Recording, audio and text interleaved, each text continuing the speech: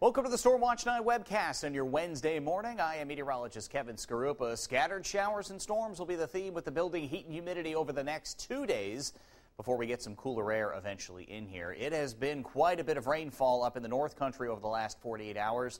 Areas of Vermont have picked up anywhere between three and a half to four and a half inches of rain. Flood advisories there, and a lot of that rainfall eventually has been filing into Coos County, and we continue to see that through around mid to late morning there.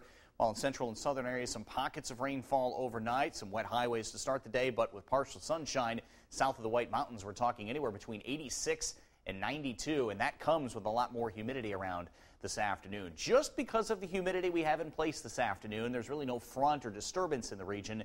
There could be about a 10% chance of a stray thunder shower. Far better chance will be during the afternoon tomorrow with a cold front moving through. That eventually leads us to some fairly big changes by the time we get toward Friday.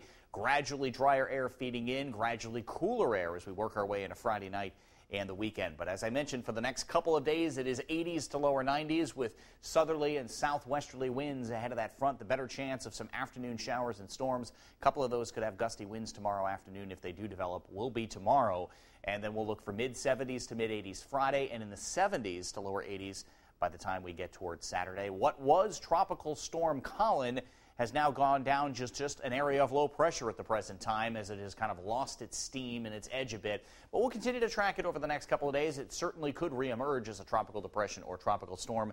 Several other waves coming off Africa. So some sunshine after that, and the heat and humidity continue to build, and a stray afternoon thunderstorm a possibility, but we'll continue on with the rainfall through 10 or 11 o'clock this morning up in the North Country. Next high tide coming up at around 6:30 this evening. Seas 1 to 3 feet and the five day forecast showing the better chance of scattered showers and storms tomorrow and what looks like right now setting up well for a very nice weekend.